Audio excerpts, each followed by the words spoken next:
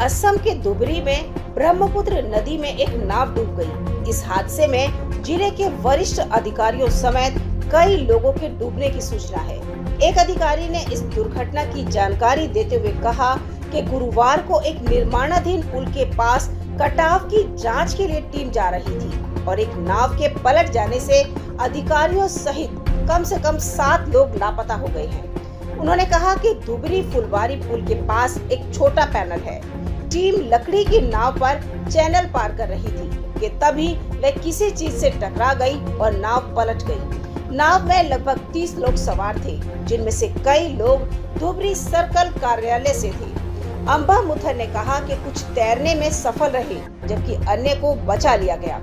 उन्होंने कहा कि राज्य आपदा प्रतिक्रिया बल, राष्ट्रीय आपदा प्रतिक्रिया बल और सीमा सुरक्षा बल की टीमों को खोज और बचाव कार्य में लगाया गया है अम्बा मुथर ने कहा कि लापता सात लोगों में सर्कल अधिकारी संजू दास भी शामिल हैं।